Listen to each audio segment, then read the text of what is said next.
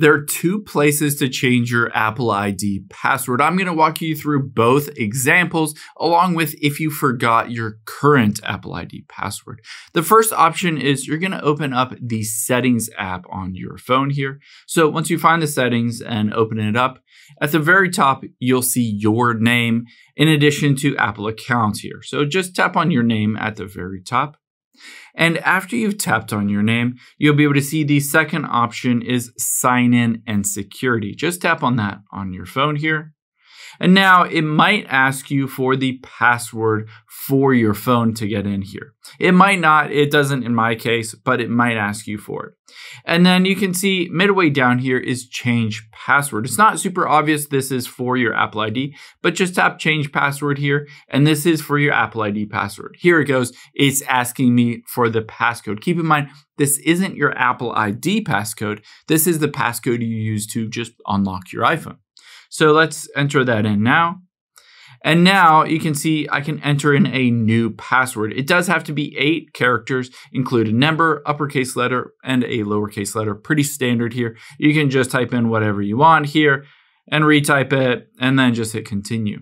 However, if you don't know what your old password is, or you can't access this, you can always do it in a web browser instead. So open up Safari or Google Chrome on your phone. Keep in mind, a nice thing about this is you don't even have to do this on your iPhone. You can do this on any other web browser.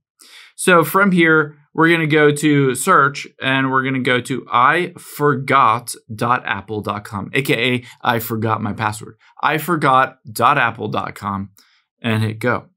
And now it will take you immediately to the forgot password page. And it says verify your account info to reset that Apple ID password, essentially just changing it to something new.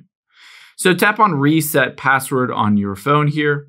And now you can see it says reset your own password or helping someone else to reset theirs. This case, I'm just going to hit reset my password.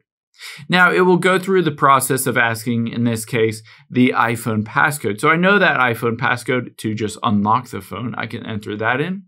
And now it allows me to enter in that new Apple ID password. But for instance, if you go back out of here and tap on this, even if you hit reset my password and you don't know that, you can always hit the forgot passcode as well. And it says basically you can still regain access by varying verifying other account information on your phone or your device. So it gives you a lot of different options to be able to change that password to whatever you want.